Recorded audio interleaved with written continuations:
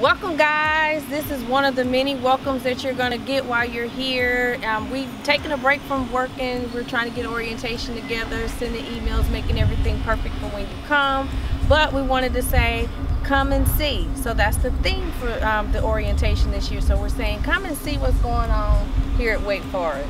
We're going to take a minute and uh, show you some of our favorite places on campus. Some of you have already visited and, and as you uh, get more accustomed to campus and walking around it, we just wanted to show you some of our favorite places so that you have more of a feel for where you're going to be um, in just a few short weeks. Uh, it's going to be here before you know it.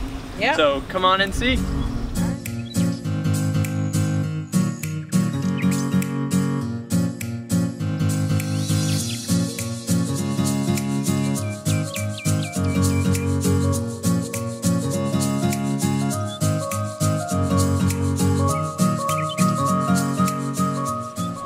All right, so come and see our ZSR library. In there, there's Starbucks, there's the Ziesta Lounge. Um, during exam time, there's all-night parties and eating and things to do, but there's books where you can get a lot of work done too. So you gotta come and check us out.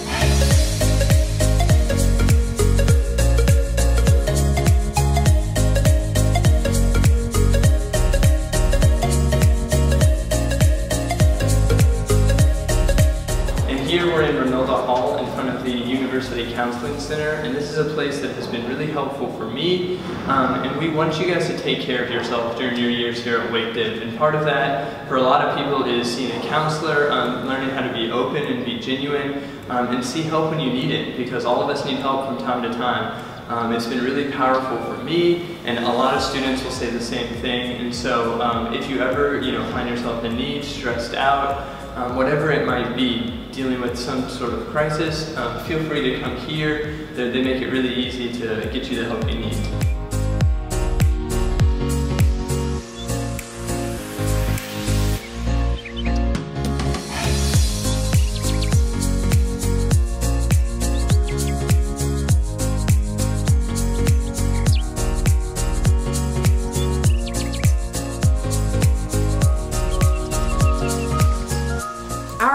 So we're on the next to the last stop on the Come and See tour. We're pausing for a quick coffee break. We are inside of the admissions office where you will come to find out things about spiritual life, any last minute admissions questions, vocational discernment, etc., etc., etc. I have with me Mary Ellen and Mark and Race, faces that you will come and see as soon as you come through that awesome door. So, hey, come and check us out. Come and see.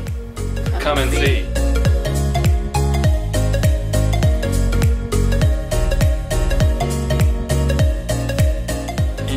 are on our last stop. Hope you've enjoyed the short tour. Um, we're in Davis Chapel right now. So here is where you'll have community worship twice a week, um, something that's really powerful for a lot of students. And oftentimes we incorporate various spiritual practices in here. And so one of them that you see right now on the ground behind me is the labyrinth. Um, and it's a, it can be a very powerful meditative practice for a lot of students, and for me, um, it's been really helpful in getting introspective and trying to just be still with my thoughts um, and look inward within myself, which I have a tendency not to do. So this concludes our tour um, of places that you'll come and see, quick places that you'll come and see while you're here.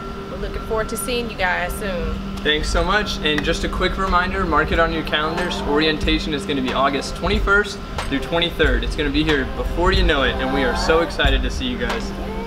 Have a good See one. ya.